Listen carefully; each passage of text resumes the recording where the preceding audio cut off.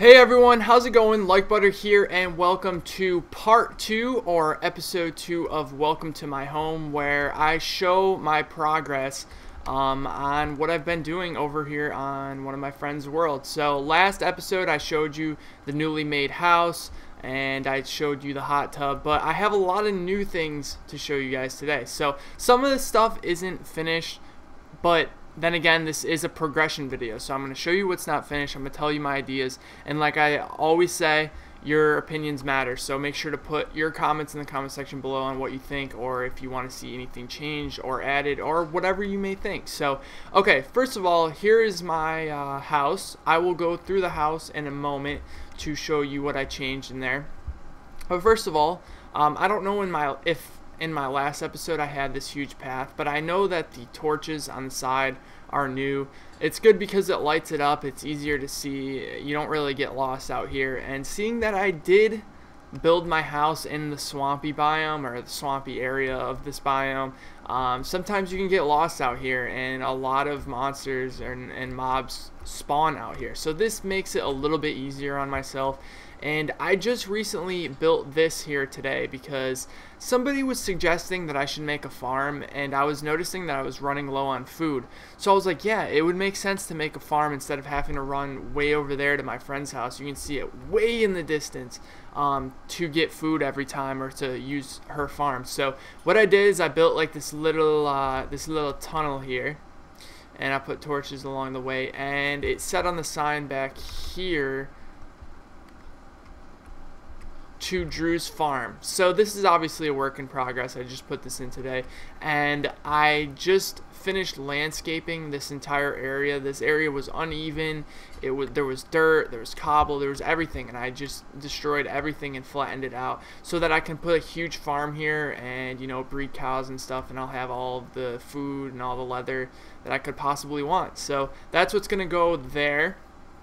Um, I didn't show you this last time, which I want to show you because it's kind of funny. Uh, because I feel like my subscribers deserve to know about this if uh, I ever open this. You know, I, was thinking about possibly opening this server to the public after you know everything is. Uh, everything's done and saved and it'll be cool because people can go around but if you ever come down here don't do it uh, there's some stuff in here but uh, it says chest room you open the door and there's pressure plates here and boom, lava. So do not go down here. There's nothing even in that chest. Oh no. Oh my god, I thought I was going to be locked in there. Uh, so yeah, don't go down there. Uh, somebody on my server made like a trap. They He told us about it and stuff, so I wasn't too worried. Uh-oh, this is not good. How are we going to get out of here? Oh god, I better put that back before it messes up the Okay. See, I think last time I did that, um, it messed up the thing that opens it. I think it's called a piston or something. I don't know. I have no idea about that stuff. But um, I have kind of a little area over here where I started growing wheat because I was going to start the farm. And uh, you need wheat to breed the cows. But I have sugarcane over on the water here because I need it to build my enchantment room, which is what I'll go show you guys next. So I, realized that I didn't have an enchantment room in my house, and I was like, huh, well, you know, I've been getting a lot of levels lately. I've been, you know, I got a lot of uh, enchantments on my weapons, but instead of having to run all the way back there, uh, why not just make something here? So as we're going down, I'll try to stop so you can see. I have glass over the sides. I'm sorry if I'm making you seasick right now, uh, but with, uh, I think it's nether, nether rock burning. It, it's whatever the rock from the netherworld. It, burns forever. So it's uh, looks pretty cool. It lights it up. And this is a work in progress in here. What I'm going to do is I'm going to have uh, bookshelves filling here. And then I'm going to put an enchantment table right in the middle. But the problem is, is that the the uh, sugarcane grows extremely slow, and you need a lot of sugarcane to make books, and a lot of books to make bookshelves. So once this is filled in, it will look pretty neat. I'm gonna put like an anvil over here for fixing uh, for fixing weapons and stuff. So it just says enchantment room. This entire basement was built the other day. Um, so all of this, you know, siding, all the stone had to be handmade. and I think it came out pretty decent. I'm gonna fill this in here. Maybe I'll have like a little entertainment area over here. But uh, in here, this is strictly business, strictly enchantments. I'm just kidding. But anyways, I think it looks pretty neat, and uh, I had some suggestions to make a basement, so that's what I did. I, I've been taking a lot of the suggestions into consideration, and the second suggestion was to make a pool. And at first, I wanted to make the pool back here to kind of just, you know, make it look cool with glass and you could see into the water, but that's not what we did. We ended up doing something a little different, which I like a little more. So come out here on the nice little pathway. Cool little bridge here going over the water. And welcome to the pool house. Now this isn't completely done yet, but I'm very, very happy with how this came out. I didn't even build the majority of this. Girl Poison did. So I'm not going to take, you know, credit for something I didn't do, but I did help a little bit with like the chairs and, and the idea. But she did the entire pool. Like, look at this thing. This thing looks amazing. At nighttime, the glowstone actually lights up the pool, and it looks like a, you know, like a heated in-ground pool. It's it's really sick, and it took a long time for us to level out the water to make it look, you know, uh, what is it, infinite water source, something like that, where it just the water just settles like that instead of it flowing everywhere. We got the chairs on the side. Uh, we got a uh, a nice glass rooftop. Now, there's a few th ways we could do this. Uh, she was just gonna build it into like a giant, um, like a giant roof, like the way that it's going. But I think it would be pretty sweet if it just flattened out right there with like wood or something. Oh, slime. The slime's trying to come in and, and party. Um, oh god. Good thing I'm in the shallow end. Uh, oh, oh yeah, so if you look in the pool, you can see how there's three different um, levels here with stairs going down. It's awesome how that came out. Uh, but I was thinking like maybe flatten that out and put glowstone on top to kind of light up the entire area. I think that would be pretty sweet. Um, but here's the wood entrance she decided to put like oak wood around it or whatever it is. It, that looks so sweet the way that it, the outside is. How it's like patterned like that. I, I think it came out awesome. So if you have any ideas to add on to that, let me know what you guys think about that. Um, about finishing off the roof. That'd be pretty sweet. So that's uh, that's not it by far. There is a few other things I changed. I'm just trying to think. Uh, I might just go show you around a different area because I'm pretty sure my house inside, like you saw, is almost the same. Let me make sure nothing's nothing's changed here. Uh, yeah, this room's pretty much just the same. Slime! How? Little buddy, how the hell did you get in here? I don't understand. Alright. So this room is pretty much the same. I might change something up, add a few additions to it or something like that. But uh, yeah, the rest is pretty similar. So now we're going to go carefully by getting this slime out of the way. I don't even feel like killing it right now.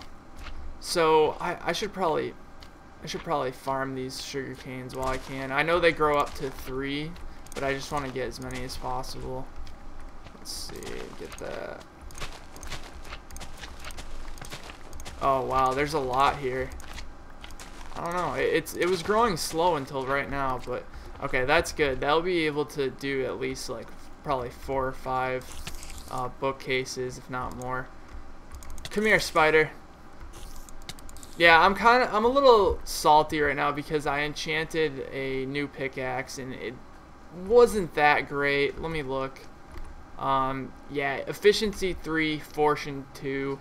Uh, Fortune 2 isn't that great. Efficiency efficiency 3 is alright. But my other pickaxe, uh, right here, Unbreaking 3, Efficiency 4, and Fortune 2. Now that's pretty good, and uh, it, but it was costing 38 levels for me to fix it, and it wasn't even bringing it up all the way. It was bringing it up like three quarters, so I was like, screw it. Maybe I'll just take my chance and enchant a new diamond pickaxe, and it, it didn't work out this time, but I want to show you the downstairs. Oh god, there's a creeper here. The good thing about having knockback is that uh, if a creeper comes near you and it's about to blow up, you can just knock it back like that and it won't blow up. So you just make sure there's not one coming behind me. Okay, so that creeper's dead.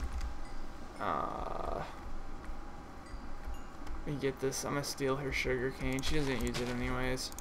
She doesn't mind. As long as I... She told me I can use her farm whenever uh, I want, as long as I put everything back. Like, I killed about 30 cows before and just rebred them. So, um, I wanted to show you down here. I didn't show you guys this in the first episode. Okay, so this is obviously, like, oh my god, that's scary. A little trash can to throw your stuff in. So, let's see. If I don't want something, like, what, what do I have that's useless? I don't really need these spider eyes right now. So it'll go in there and it'll be gone, so you don't have to worry about it. Uh, this is the nether portal, which will bring you to the nether world. Um, I'll maybe do that in a different video. I don't want this to go too long, but this is the entrance to her mine uh, down there. I don't really have a mine, I just usually mine in hers, and I mine at this other place. But I wanted to show you guys this, which I thought was pretty neat. Okay. So I'll light it up for a second so you guys can see. What it is is there's a zombie spawner in there, which I'm pretty sure throughout the map there'll be random spots where there's a zombie spawner where it spawns zombies. So if you're smart enough, you can build things around them so that it can kind of be like a trap. So I'll, I'll, show you, there's water in there that's basically flowing down into one, you can see them floating down into that one area. Now where it goes is I'm going to show you. So you basically stand here let all the zombies spawn. Uh, sometimes what I'll do is I'll just stand here and I'll, I'll go make food or I'll go do something else or like you know if I have to do something because then it'll the zombies will be spawning right there while you're looking at it. Um, yeah I'm back to level one that sucks but I just enchanted something. So uh, where they go is down here which I think is pretty cool. I, am sure to most Minecraft uh, players that have been playing for a long time this might not be that good, but to me it's kind of awesome. What it does is it makes it so that there's a block here, and if you look, the zombies can't hit me, so I can literally just sit here, and uh, they fall down the right amount of blocks so that they only have like half a heart left, so you don't even have to waste your sword on them, and you can just get a lot of XP like that. So I thought that was pretty cool. Um, get a peek in here. Oh my god, another zombie came down. Okay, so if you get a peek in there, that's like another, that's like a, one of the old abandoned mines in there. We, we usually go down there. That's attached to her mine. So I just thought I would show you guys that. Um, let's get up here. I, I didn't show you her enchantment room last time, which I'm going to do right now, uh, because I think it's pretty cool the way it's set up. I, I think I had a hard time finding it, but I know where it is now. It's right up here. So you go up here, and uh, this is her enchantment table, and that's not exactly how I'm going to have mine set up, but in a way. Um, but it looks pretty cool, you know. Uh, she's got an anvil here. This is for fixing weapons. You put your weapon in here, and then you uh, you have to put whatever it's made out of there, and a lot of enchantment books. But uh, I, I noticed you have to be careful if you put like a really good enchantment on one of your weapons, uh, it sucks because sometimes you can't repair them. It'll say too expensive to repair. So uh, that's pretty much it. I think it looks pretty neat up here. And my enchantment room will be done soon. I'm going to work on it a little bit after this video. But I felt like uh, I didn't want people to think that I'm just going to post one video of my progression and then not play anymore. It's just I'm putting a lot of time into these videos and I want to make sure enough changes in one video where it's worth watching, you know what I mean? So uh, thanks for checking it out. If you have any suggestions, make sure to drop them in the comment section below. And if you enjoyed the video, make sure to drop a like, and I will talk to everyone next time. Bye!